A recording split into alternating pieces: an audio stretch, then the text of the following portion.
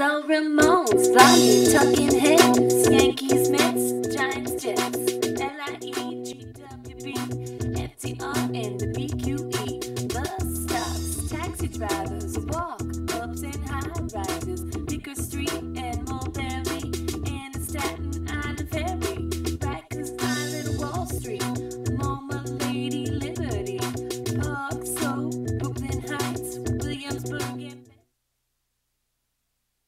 so much for coming. We've got a great audience tonight. We have, to my right, we got uh, Carissa. To my left, we got Amy. Little sunshine girl. Ready to do the Coppercone, Coppertone commercial? Coppertone. I've got my Miami look on There you go. and uh, we have a great guest tonight. Now, this guest that we have tonight, not only have I known him for a long time, but he's such a great actor and he's a good friend. I had to go through a lot of red tape to get him down here because uh, Vinny, I don't do this, and blah blah blah blah blah blah. Not now, later, next week. Call me. I finally got him down here. And if you don't know him by name, you'll know him by sight. Which camera am I? Am I in that one? You're straight ahead. Okay. You're good. And uh, so I've done uh, several films with him, except I just didn't have any scenes with him in um, in any of these films. But we did a reality show, which um, what was the name of it? Paul Borghese directed it, my cousin. Oh, that's right. Yeah. Paul Borghese directed. And that was film, called uh, You Got Whacked. Yeah. You Got Whacked. Okay. It was very so, funny. Without, without, without It any was. fr- It was funny. I- It was. Uh, I want to introduce you. okay. Give him a nice hand, Tony Darrow.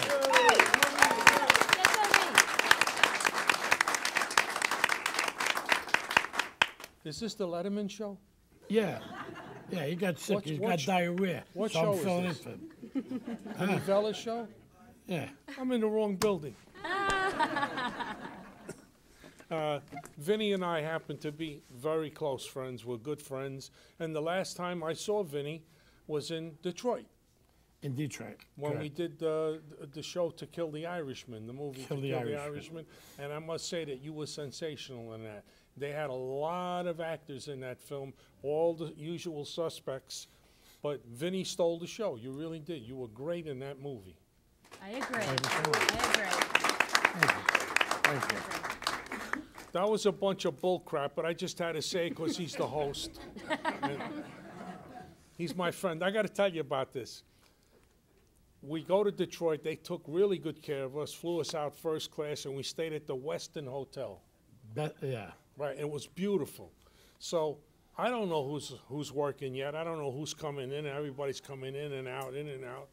So I was lonely because you know you're in a, a, a, a, Detroit, which is like devastated. I mean, it's all looks like war, a war zone. It really does. It's it's it's a shame. But uh, one day I come down for coffee, and he's sitting there. And uh, that was it. I know it made my trip because he's a lot of laughs. He's really sweet, you know, and he's a, a good person. So he's got like five dishes in front of him. and he's eating like he's going to the chair in the morning. and he's talking, and the bacon's coming out. And all. So I go, Vinny, slow down. I said, What are you eating like that for? He says, Well, you know, I sh- really shouldn't because I'm a diabetic.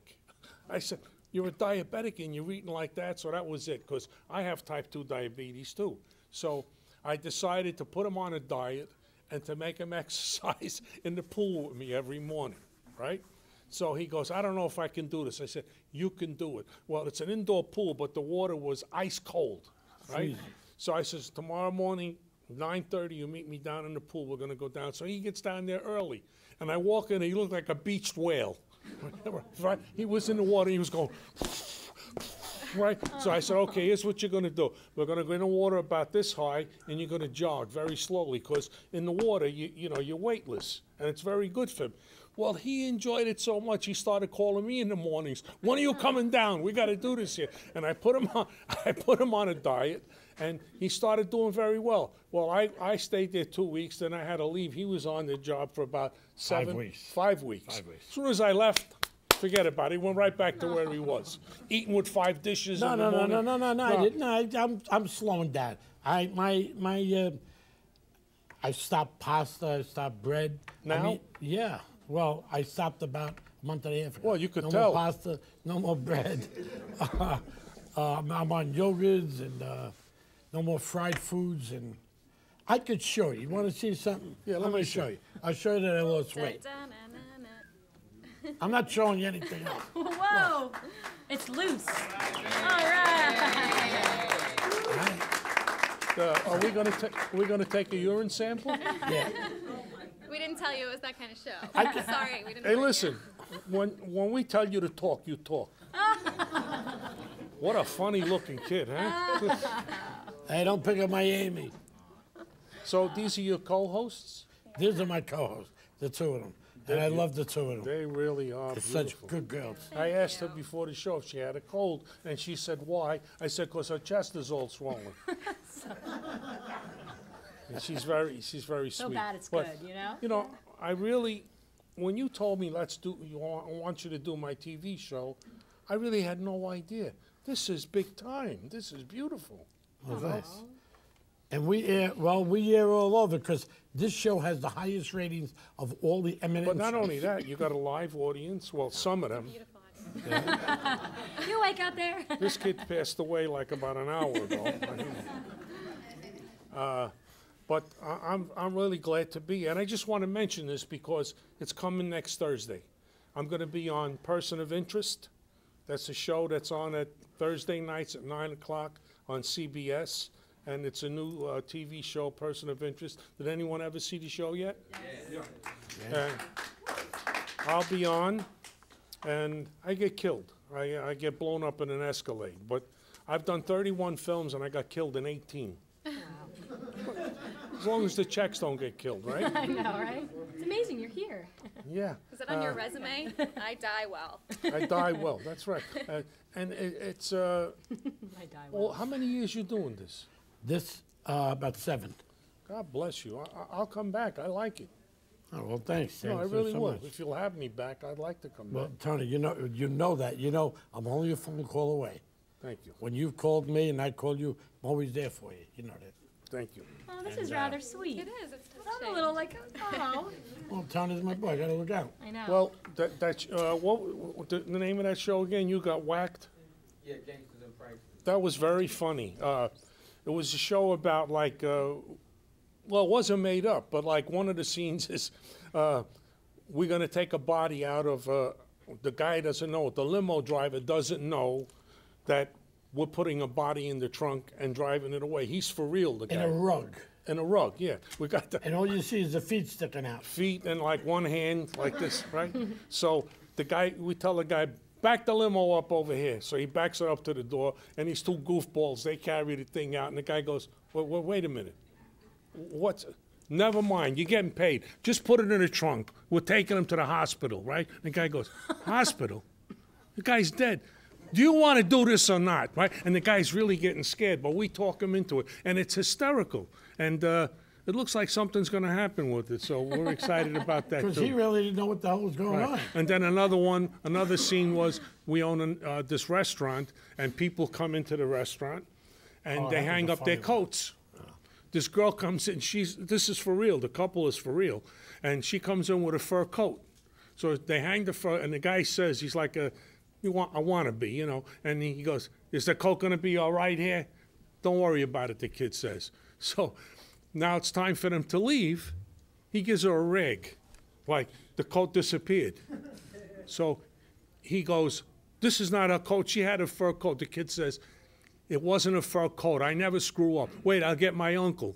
And he, I come out with him, and we go, "Th- th- What are you trying to do? You're trying to make money over here? And this kid gets crazy, where we almost got punched. And so just before we get hit, we tell the kid that he's on this. You know, it's a phony thing, and we give him the fur coat. But that was very funny too. And then another scene with the pizza parlor. It was a very good show, and Paul Borghese directed it and produced it. Oh, you left one part out. Is when, when the guy asked for the coat, I told him, I said, listen, look, I don't remember all coming in with a coat, but we got a truck in the back that just dropped off a whole bunch of coats. Why don't you go back there, Yeah, pick it was one out? very I funny. don't want to pick one out. I want the coat that she came in here with. Most of it was ad lib, you know, and uh, that's the way I work, and that's the way he works. Most of it is you wing it, you know. But it was a lot of fun. Am I keeping you up? No, not You want a blanket and a pillow? All right.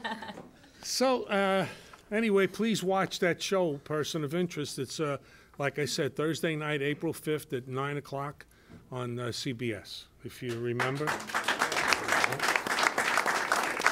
Any questions?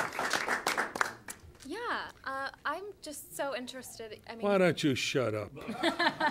Go ahead. No, what? I want to know about Goodfellas. It's just such an epic, epic film. Like, what what are your sort of Well, that, main mem- like impressions of that? well, that your was my second film. Second of the third. I've never done a film. I did a, a real garbage film called Street Trash, and oh, seriously, and we went to the premiere in garbage trucks, in tuxedos, because the, the producer had an idea that that would, and it did. It worked.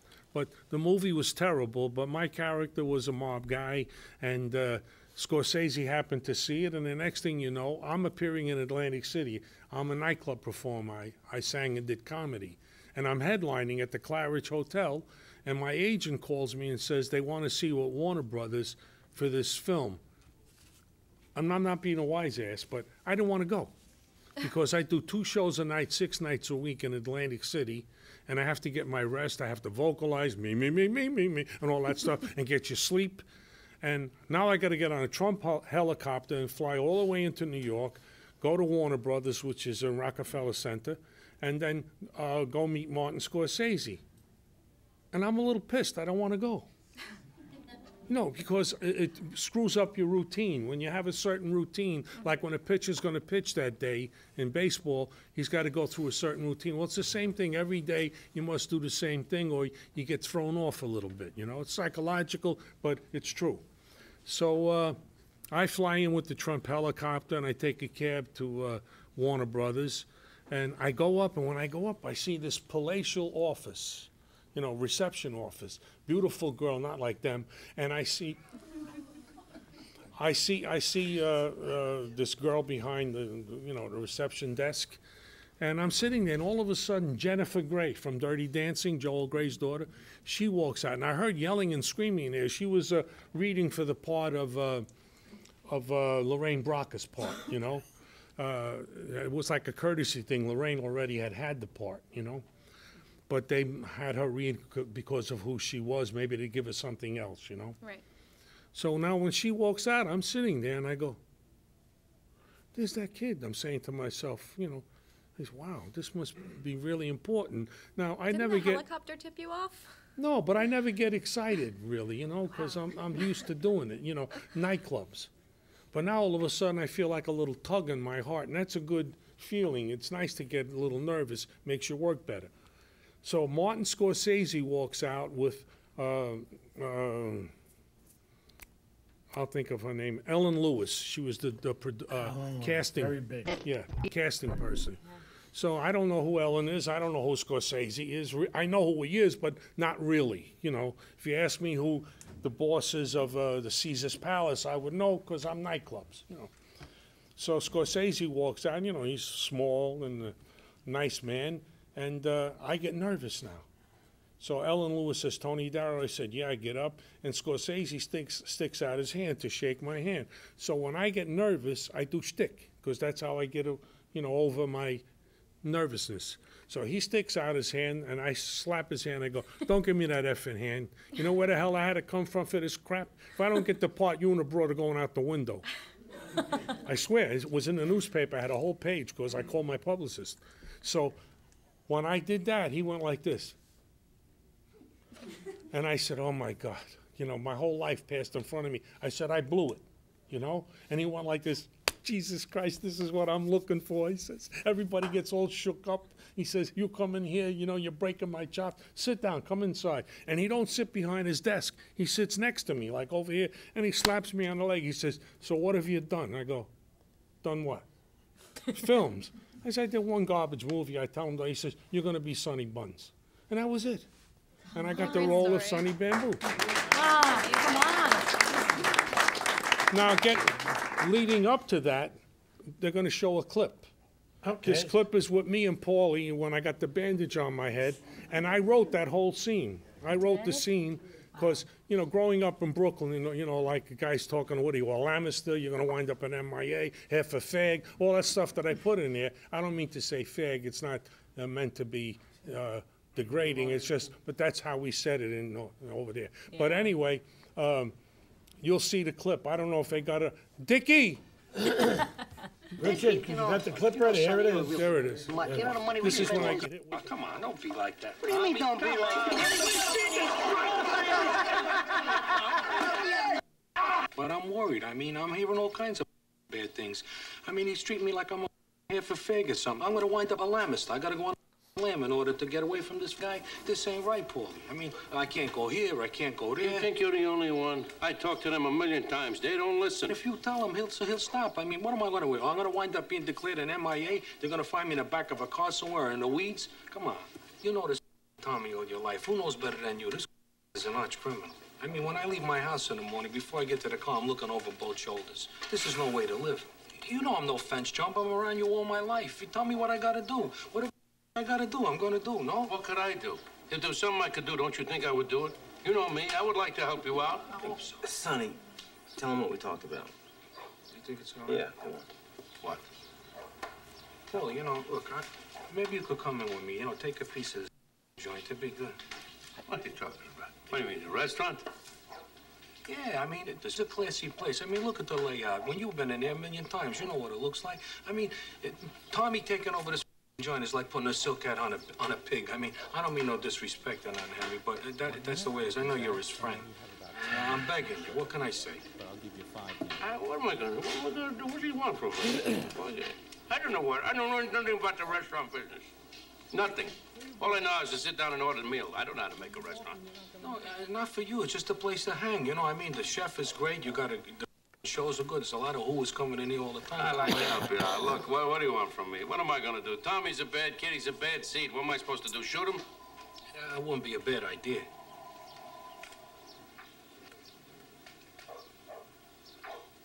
No, I'm sorry I said that. I didn't mean to say that. I, I just mean that he's scaring me. You know, uh, I just, uh, I need help. All right, help me, please. You know.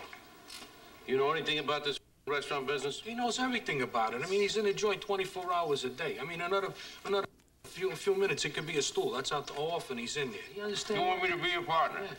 That's what you're trying to tell me. You want me to be your partner? Yeah, what do you think I'm talking about, Paulie? Please, come on. There you go. Love that movie. Now, besides that clip, Love that movie. you've also been in Analyze This. I analyzed in this, Mickey Blue Eyes, Sopranos for eight years, and uh, I did six Woody Allen movies in a row. I'm the only one to do uh, six Woody Allen movies in a row. And the last one, I had one of the leads, which was uh, Small Time Crooks. I don't know if you saw it. It's very funny. It's a comedy. And uh, uh, my latest film now, besides the TV show, is with Paul, a movie called Goat. With uh, yeah, That's right. Go. with uh, Armand Assante's in it, uh, Vinny's in it, and also Vinny Pastore, Big Pussy.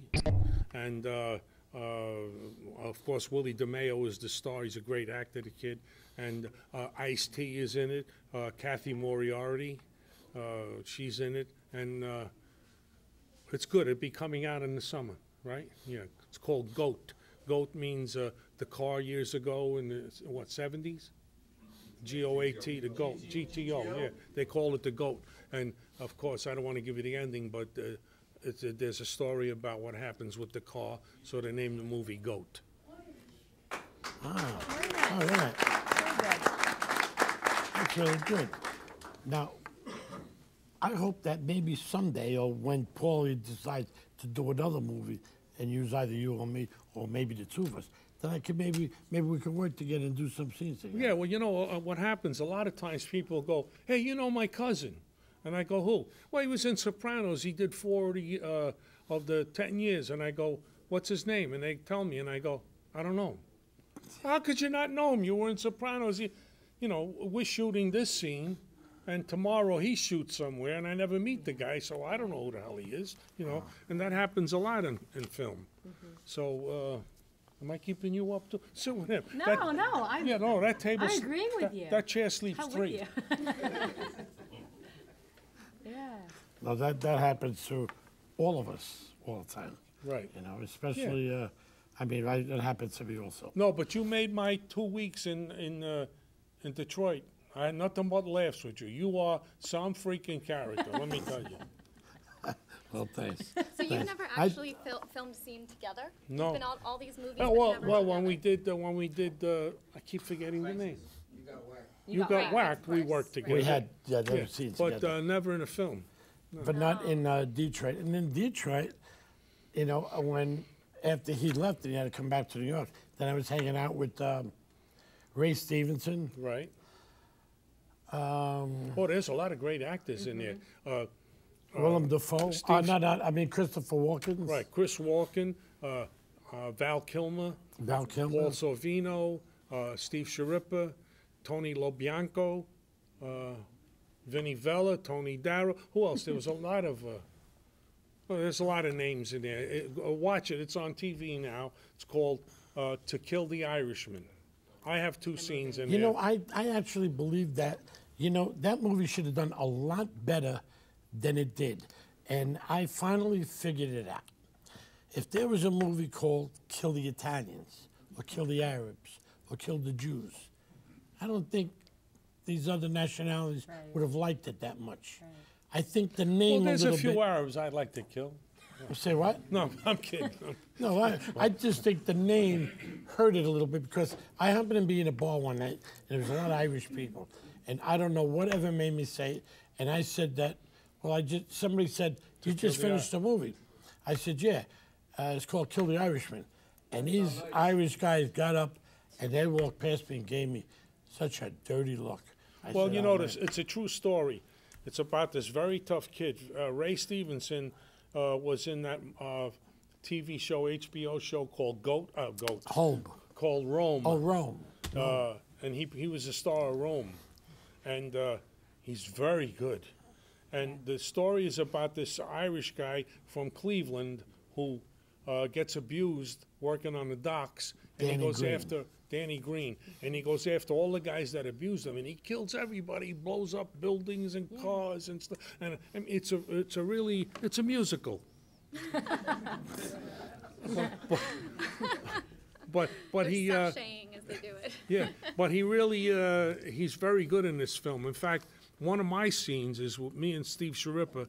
Uh, Steve Schirripa gets shot by him, and he's exercising in the park, and I'm driving the car, and Steve goes after him to shoot him, and he rolls over, and he pulls a gun out from his uh, ankle uh, holster, and he shoots Steve in the head.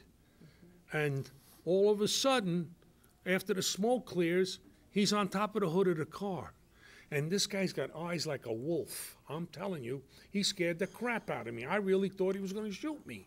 He looked like a freaking wolf when he was sitting on the hood, you know? And half of it wasn't acting. I was going, please, please, you know? But he's a hell of an actor, this guy. Uh, Ray Stevenson, you'll, you'll see a lot of, of him. He's, uh, he's a star. And he was great. Yeah, he was. And uh, I, uh, so I, I mean, hanging out with him and um, Val Kilmer, they just and oh, one one other name. What the hell's his name? God, um, he's a comedian. He was in. Uh, uh, his help tip is right on the don't tip of my tongue. Oh, that's so annoying. I don't know. God Almighty, I can't even think of his name. Richard Belzer? No. No, big, sta- big Oh, oh, oh, uh, Mike, Mike. Mike uh, Starr. Mike, Mike Starr. Starr, yeah. Mike Mike Starr. Okay. Yeah. So I was hanging out with them, and actually at night, uh, what's his name? Uh, Christopher Walken. He called me up and he says, "You want to come? You're going to come downstairs have dinner?" I said, "Yeah." So I met him, and I s- and there was a big dining room. I said, "Well, let's sit there." He goes, "No, no, let's go sit in the back." So I said, "Why do you want to sit in the back?" He said, "You like it over there because all the people were there." You know, I figured, you know, a little Well, that's an actor, boy. That's an actor's actor, Chris Walken. And so is Val Kilmer. Val Kilmer is very, very good. He plays a, uh, a detective uh, in that movie, Val. and he didn't want. He kept. I kept having dinner with him in, in the back, and they said, you know, if we keep sitting back here alone, they're going to start bringing us flowers, you know. And he got a big kick out of me, and uh, between him, Val Kilmer, Ray Stevenson, I was having dinner with all of them. The one I didn't pay too much attention to, not for anything, was Paul Sorvino. Oh, that's another story. That's right. That's another story. But you know, I, I'm not bad mouthing it, but No, I'm no, just, he's, uh, he's high strung, yeah. very high strung. That's enough. And that bar downstairs was di- d- great. Great. We had a that ball. grill or whatever that was. You know, we were partying there every night. I was in there every night, drinking Grand Marnier, getting stoned every night. but I was still able to See? get up every See morning. how he went off the pretty diet when I impressive. left? You see? What the- I drink a little bit. I don't do that anymore. Now I don't drink. Well, I don't. I Grand don't- Marnier is poison. It's all I sugar. know that, but I'm not- no more Grand Marnier. I don't drink anymore. That drinking I stopped several months ago. I don't true. smoke. I mean, I don't see you drinking. Um, I don't eat bread. I don't eat pasta. I don't eat ice cream. No more cake. Boy, you lead a boring life. I mean, you got to do That's- something. Listen to me. That's all I quit. I'm taking uh, Viagra and prune juice now, and I sometimes I don't know whether I'm coming or going. we we don't have much more time to go. Well, wait a minute. This little kid is fondling himself, and his father catches him. He says, "Anthony, don't do that. You can go blind." And the kid says, "Hey, Dad, I'm over here." go ahead. we don't have much another, I time. heard, I heard something like that before, and somebody said, You shouldn't do that. You can go, Go blind. blind. And he said, uh, I'll just do it until I need glasses. Right. Something like that. That's right. That's it. Another classic. Say what? It's another classic. You're starting to There get you on my nerves, you. I'm telling you. That's a sign of he likes you. If he didn't I like you, think so. he wouldn't pick on you.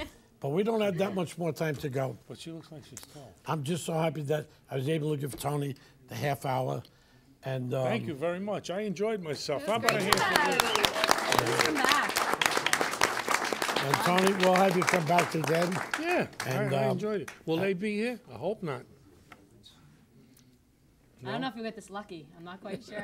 No, they're gonna be here. These, fine. these, these girls will be here. with Pick a me. number from one to ten, quick. Seven. You lose. Take your top off. I, no, I was just. I'm kidding. I'm kidding.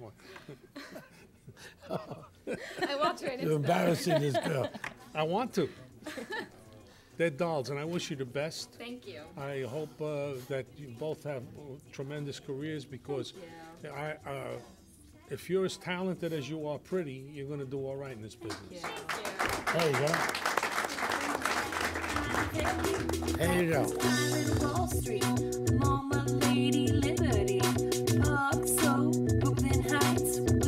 Williamsburg and Watch out for the bedbugs, pigeons and the rats. New York City's where I'm at.